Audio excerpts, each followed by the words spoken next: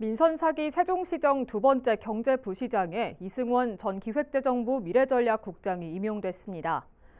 이 부시장은 별정직 1급 상당 공무원으로 미래전략 수도 세종 구현을 위해 경제 분야에 중점을 두고 중추적인 역할을 담당하게 됩니다.